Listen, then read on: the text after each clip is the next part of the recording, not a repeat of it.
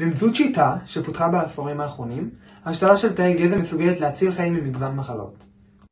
בגלל מחסור של תורמים אנושיים, חוקרים מייצרים תאי גזע של מערכת הדם כחלופה לשימוש בתאים מאדם אחר.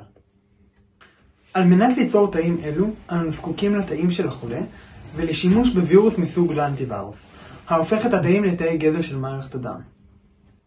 אך הווירוס לא נדבק כראוי בתאים וישנו צורך בשיפור ההדבקה.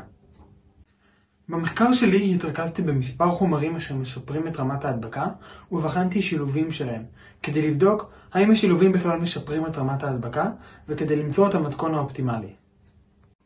הפרוטוקולים שבנינו והתוצאות שמצאנו ישמשו לבניית פרוטוקולים יעילים יותר ויהוו התקדמות נוספת לריפוי מחלות כגון אנמיה, HIV וסרטן.